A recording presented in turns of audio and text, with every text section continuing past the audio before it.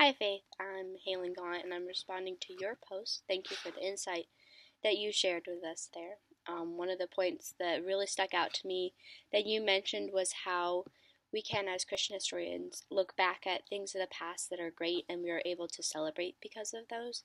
That, that was very interesting. I hadn't thought of it that way. I also agree with your final point that overall we must remain unbiased. I think it's really important for us to understand that as historians, our objective is truth and not necessarily truth from one perspective, but from all perspectives. What is the actual fact? Thank you.